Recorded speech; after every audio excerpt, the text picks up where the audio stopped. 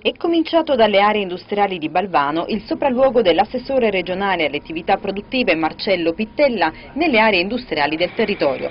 Pittella, che ha assunto la guida dell'assessorato poco più di un mese fa, si è già messo all'opera per conoscere le realtà produttive del territorio, capirne i punti di forza e le criticità per avviare percorsi di crescita. È un, necessario, audit che un neo assessore deve necessariamente eh, svolgere prendendo contezza diretta della carne e del sangue di questa nostra regione.